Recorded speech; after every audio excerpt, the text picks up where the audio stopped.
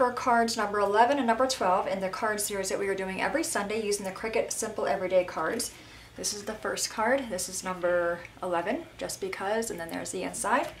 Then we have this one, a little get well soon card, and then there's the inside there. All right, let's go to the computer and we will get started. Alrighty, at the computer, you want to go to cricut.com slash design. You will see this screen, upper left-hand corner where it says account. Click on that to sign in. Enter in your email and your password. When you see your name in that green box, that verifies that you were logged in. You want to come down here and click where it says Create New Project. Left-hand side toolbar, click on Insert Images. We're going to change this from all images to cartridges. In the search box, type in the word simple. And the one we want is Simple Everyday Cards. Click on View All Images. I'm going to go to the right hand side below the funnel and click on the four squares to make the images larger. And the two we want, we got to find those.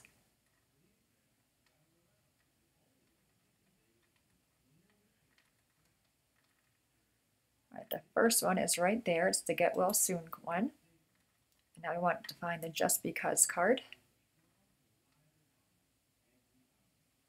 I think I might have passed it. Go back up top.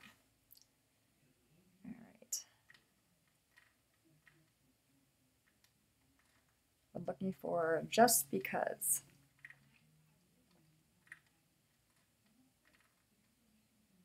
I think it might be one of these because there's not two of those cards. I'm going to click on both of those. I'm sure one of them is the one we want, hopefully. Bottom right, click on Insert Images and we'll see what happens. All right, there we have it. There's the one we want. We can go to remove that card. So the one we want is the Just Because card. Because they are the same exact card, I'm going to line both of them up together. Take my mouse across both pieces, right click and choose group. So both cards and envelopes are grouped together. Left hand side toolbar, click where it says set canvas.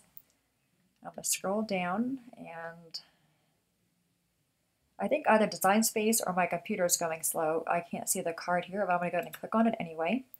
All right, there's our canvas piece. Our cards are going up and down to where the canvas is going left to right, so I do want to change that. Right hand side toolbar, click where it says canvas. Under type, change that from vertical to horizontal. You want to just take your card base. I'm going to line up the entire card here with the canvas piece there. Just put in the upper left hand corner, then bring it down. I can tell you the size of this, so I'm going to go and click on the size or the click on the image, go to the right hand side under edit, leave your lock connected, and make the cards be 15.6 in width. That'll make both cards be the A2 size card. Right click on them to choose ungroup. That'll take, right click on it again. I want to separate the envelopes from the card pieces. Right click to choose ungroup. All right, so we can put the envelopes aside. And now we have our card base here and the piece that goes behind that. I actually want this to be a red color. So I'm going to go ahead and click on the layers tab, find the piece here. It'll be highlighted over there make that be a red color. Bring that down here. That's going to go behind that. I'm going to right click on it again and choose copy and right click again and choose paste. For every card we make, we want two pieces. You want one piece for the inside mat like that and then one piece to go behind the detailed cut. But I do want this to be a white color. I'm going to change that and make it be a white color there. All right, so that card is done. Now we have this piece here. I think I'm going to make it be a cream color, but I'm going to go to my layers tab and make it be like just a different color yellow. And then the piece behind that, I'm actually using a pattern paper, so I'll leave it be this color gray. But I do want to right click again and choose copy and right click again and choose paste. So I'm using a pattern paper for the piece that goes behind the detailed cut and the piece that goes on the inside. I want that to be white. I'm going to find it over here and change it to be a white color. All right, top toolbar, click on go. So we have our one envelope and our other one. They're both the same envelopes. We have this piece here, that card base, the red piece to go behind this one, and then our white piece is there. I'm actually going to go back and make this one here also be a white color. Right click on, oops, go to my layers tab rather. Click on that and make it be white. Okay, go back up top and click on go. All right, so we have all of our pieces here and our three whites there. All right, bottom right, click on go. I'm going to cut these out on the table and put our cards together. All right, we have the Just Because card cut out. Set the envelope aside. And again, I'm just going to kind of gently press those score marks. Some a little bit of crease. Um, a subscriber friend of mine, I want to say it was Peggy, that left a really good tip. If you have a hard time folding that, just take a roller. That would work as well. Sometimes it works, sometimes it doesn't. All right, so we have that. Then what I wanted to do is take some designer paper, or just, you know, pattern paper. Because the pattern is really busy, but I want to grab some white to kind of fill it in a little bit. I didn't want to, you know, because if you just put the pattern here, let me show you the words just because it's kind of hard to read and I just noticed I have a little square that did not pop out right there. I'm going to grab that. Okay. So we're just going to kind of wing it. Grab a piece of, you know, you can use whatever color cardstock you want. I'm going to go with white. And I want to cover up the words just and the word because. Flip it over this way. Okay, I don't really want the crease of my letter or the, my paper to be between the two words. All right, that's gonna work. I'm gonna grab that scotch glue with the dauber end. I really do like that glue. It does, it is a wet glue, which I do like because it gives you wiggle room, but sometimes it'll make the card stock, um, what's the word? Warp. All right, so we have that. I wanna cut a little bit of curve out of this one here. So it just kind of mimics, oh, you can see I'm just winging it. Nothing professional here. All right, that's gonna work for there. I think a, any color paper would look good here. And the, the uh, pattern paper I'm using is a really old, well maybe not, um, I think it is an old one, Stampin' Up paper. All right, so we have that, right? All right, now there's no white paper on the inside, so I'm using this one. And again, we're gonna go with that same piece of scrap paper here. The same glue, and just kind of loosely daub all this. If you were to use the art glitter glue, you could use that as well. I just think the glue might dry before you get to the next layer. Okay, so take that, take this away, and put this in there. So this time in this card we have paper versus the actual card. I'm going to flip it over, grab my bone folder again, and just really push down on these edges here. Make sure that paper, the glue sticks.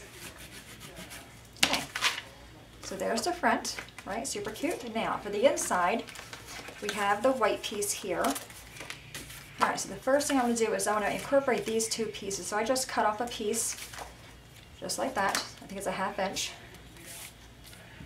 I'm to take that. I'm to put this toward the one end, really close to the edge, because it is a half inch. And I don't want to take up a whole lot of room on the inside of the card.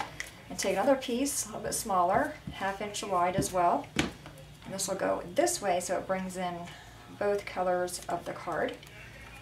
On the outside we have the dotted pattern and on the inside we're going to have this piece here. I'm going to trim off that extra piece right there. I cut it a little bit too big. All right. And we're just going to put this on the inside. So real simple. Whoop. You guys, if you watched the first video, I explained why I did not have a video for Friday for my Pinterest. It's just I have a really bad headache, and it just seems like it's completely interrupting me. I can't even think straight. All right, so we have that. So pretty simple. Then we have the envelope, and I'm sorry I did not embellish the envelope. Like I said, sometimes we will, sometimes we won't. Um, if I had more of that paper, I probably would have made a paper envelope. So that, that kind of give you guys an idea what you want to do with the envelope there. Alright, so I'm going to take this and crease all this. I assume you've gotten glue right there. I think I use that for a scrap paper. We'll make that on the outside. So I'm going to put the glue right there. And then I'll glue at the bottom. Alrighty. Give that a crease there and a crease there. Make sure it stays closed. If you want to, if I had, like I said, if I had more of that paper, you could put a little diagonal piece of that paper on there. But there's that card, and then there's an envelope. All right, let's move on to number 12. All right, guys, here we are at card number 12. I'm first going to go ahead and do our envelope to get that out of the way.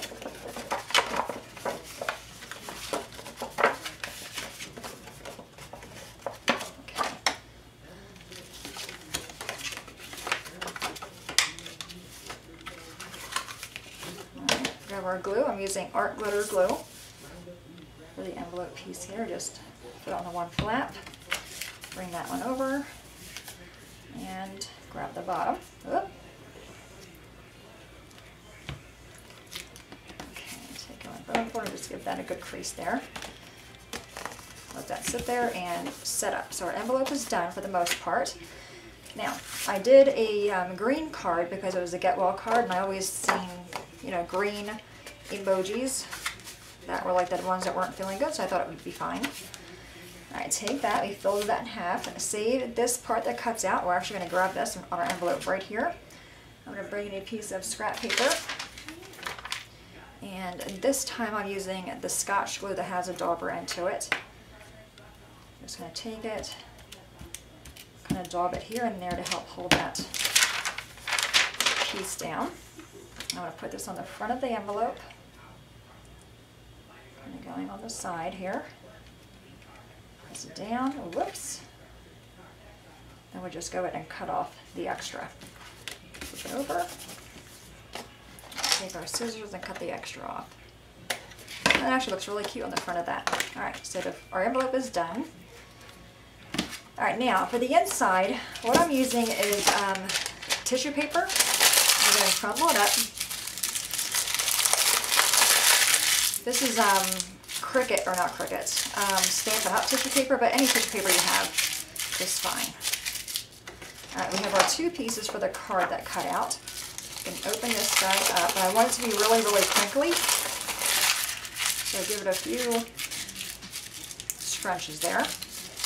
Open that up carefully without tearing it. Okay. Take my Dauber glue again on these two on this piece. And really, really cover that up. And place this on there. Smooth it out. Alright, so what I'm going to do is just take my glue and just give that end here a nice roll.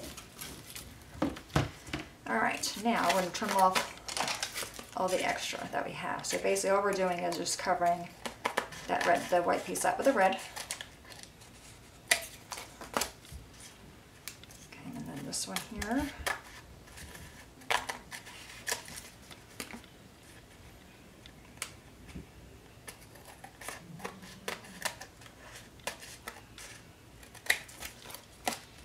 And on this piece.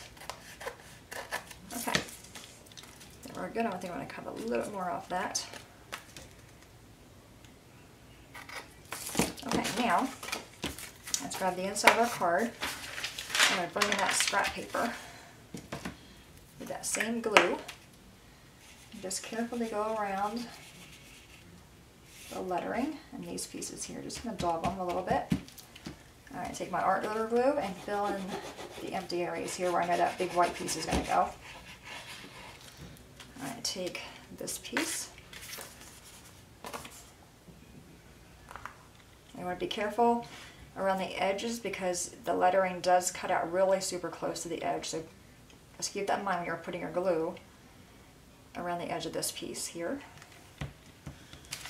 Move that out of the way and bring this piece in. All right, now we're gonna carefully place it in there. And again, I'm gonna kind of hold it down, grab that glue bottle. If you have a brayer, you can use that too, or a dowel rod, whatever you have. Just to really give it, I'm actually gonna grab this glue. Just to really make sure that's staying down because just tissue paper.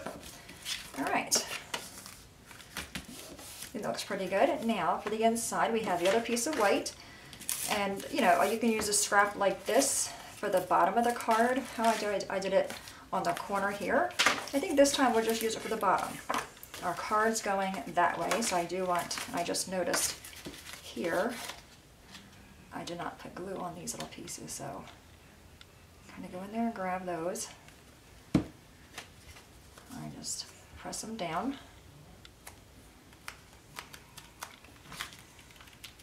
Okay, so I have this piece that was an extra, and again we're going to grab that same glue here. Just going to take this, grab your card piece here and just lay that. I don't want it to be too, too big though, so I'm only going to go maybe about a half inch on that. Give that rub, and then we're going to, of course, trim off the extra pieces. So if you don't have construction paper, or not construction paper, where's my head?